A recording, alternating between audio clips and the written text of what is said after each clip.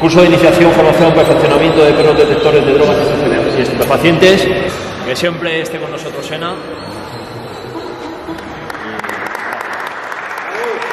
Como alcalde de Perezuela, nosotros siempre estaremos encantados de que eh, sindicatos como este organicen este tipo de cursos que ayudan a, a, los agentes a tener una preparación que de otra manera a veces resulta muy difícil y tenéis las puertas abiertas a, a otra edición porque esta es la primera, cuantas más ediciones mejor.